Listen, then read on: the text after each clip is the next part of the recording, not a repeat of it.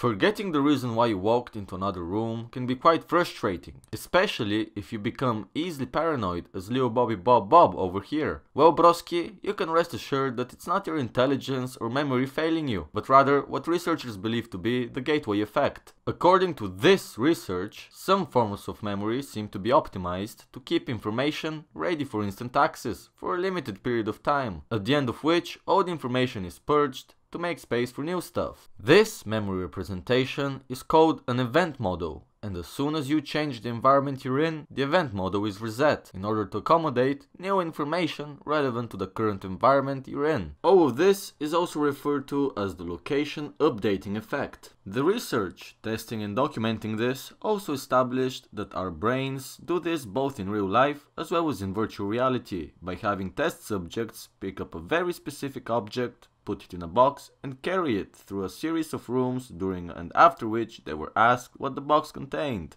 Besides the immersion level being irrelevant for the doorway effect to occur, researchers also found that returning to the initial environment did not improve memory. You can read more about the various testing experiments by visiting the link in the description. As for Lil Bobby Bob Bob, the conclusion he should draw from all of this is that he should simply relax and accept that his brain, although extremely efficient, is not flawless.